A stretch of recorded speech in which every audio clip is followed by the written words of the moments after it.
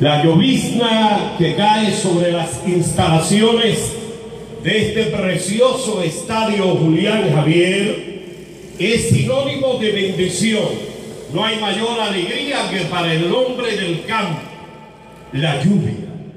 Vamos a leer inmediatamente y he querido tomar esta porción bíblica por muchas razones.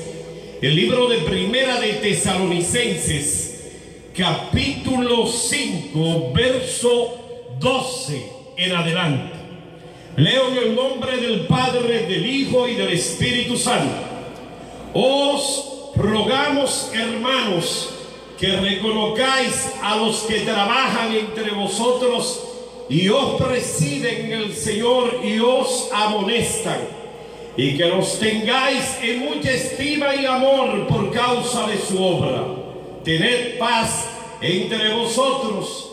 También os rogamos, hermanos, que amonestéis a los ociosos, que alentéis a los de poco ánimo, que sostengáis a los débiles, que seáis pacientes para con todos. Mirad que ninguno pague a otro mal por mal, antes seguid siempre lo bueno, uno para con los otros y para con todos, estad siempre gozosos, orad sin cesar, dad gracia en todo, porque esta es la voluntad de Dios para con vosotros en Cristo Jesús.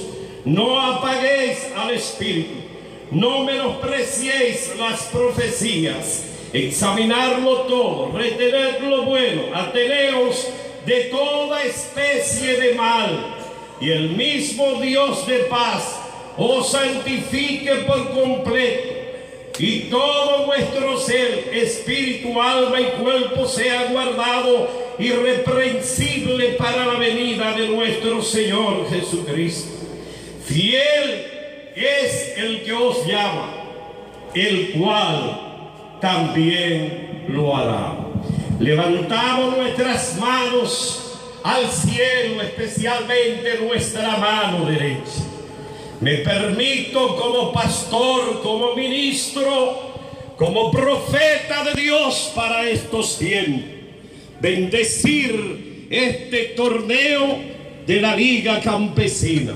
Padre Celestial, te doy gracias porque una vez más sabemos que tú nos estás escuchando, que tu vista está puesta sobre esta regia inauguración en esta mañana brillante, en esta mañana gloriosa, en esta mañana de gigantes.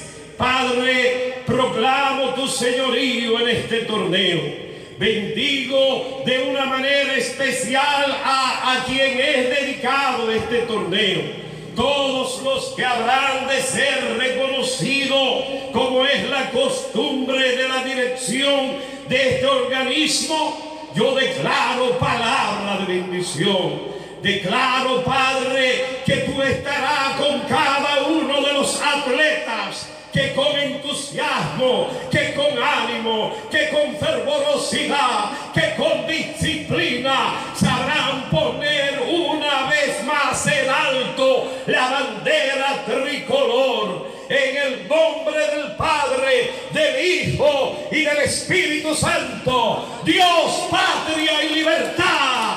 Toda la honra, toda la gloria al Dios Todopoderoso.